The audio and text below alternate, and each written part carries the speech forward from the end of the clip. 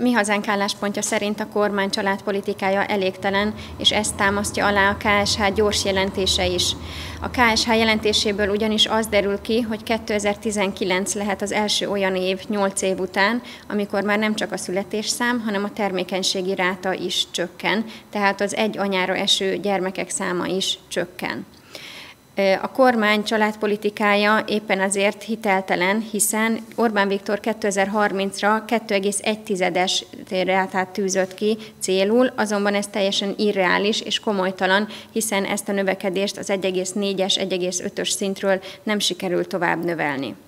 Több demográfus is megfogalmazott különböző javaslatokat, Demény Pál és Benda József nevét ki kell emelnem. Például ilyen javaslat a főállású szülőség, amelyet a Mi Hazánk mozgalom is támogat.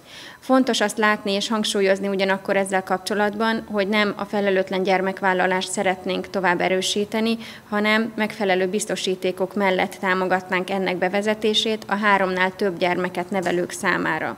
Reprezentatív felmérés alapján ugyanis a fiataloknak a 25%-a mondja azt, hogy szeretnek kizárólag a családjának élni, és ez az élet célja, ám nekik erre semmilyen lehetőségük nincsen. Benda Józseféknek a kutatásából az is kiderül, hogy a fiataloknak a döntő többsége 70%-a a munka és a család összeegyeztetését szeretné elérni, azonban ezt csak egy vagy két gyermek vállalása mellett tartják elérhető célnak, ezért számukra fontos megteremteni azt, hogy ők is nagy családban gondolkodhassanak. Az elmúlt kilenc éves kormányzás során tovább folytatódott a cigányság népesség robbanása, hiszen az a termékenység növekedés, ami végbe ment, az elsősorban az ő körükben zajlott le.